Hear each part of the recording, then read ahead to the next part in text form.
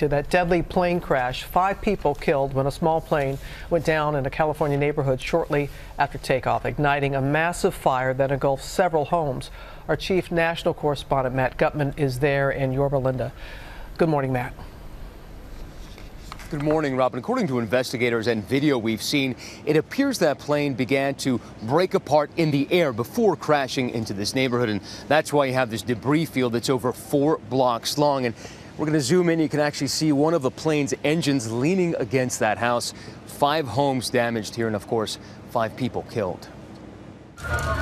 It was a sleepy Sunday afternoon when parts of a plane began raining down on this Los Angeles suburb. I saw two fireballs, and the plane was just falling out of the sky. And by the time we got up here, we saw this devastation in the neighborhood. One part of this twin engine Cessna blasting into this home like a missile. Oh that plume seen for miles. It just went up so fast, there was nothing you could do. The inferno killing four people in that house who've not yet been identified. The pilot of the plane, its only occupant, also killed. Within seconds, dozens of dazed residents wandering amidst the wreckage.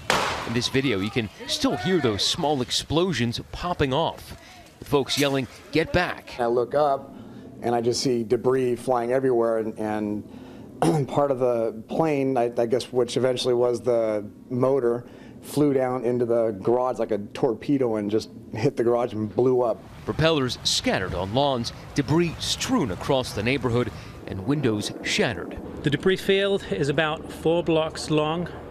We're in the process of documenting the debris and the wreckage. Uh, the main cabin of the airplane, along with one of the engines, came to rest at the bottom of a, uh, a ravine in the backyard of uh, somebody's house. Two additional people taken to burn centers and a firefighter injured. That investigation just beginning. We're going to continue this operation through the evening and probably well into tomorrow morning. And typically, small planes don't have black boxes or data recorders. And because of that, investigators are going to have to piece together what happened here through those videos that we saw, but also that debris field. Mm, Guys. So large. That's so tragic. All right, Matt, thank you. Hi, everyone. George Stephanopoulos here. Thanks for checking out the ABC News YouTube channel. If you'd like to get more videos, show highlights, and watch live event coverage, click on the right over here to subscribe to our channel. And don't forget to download the ABC News app for breaking news alerts. Thanks for watching.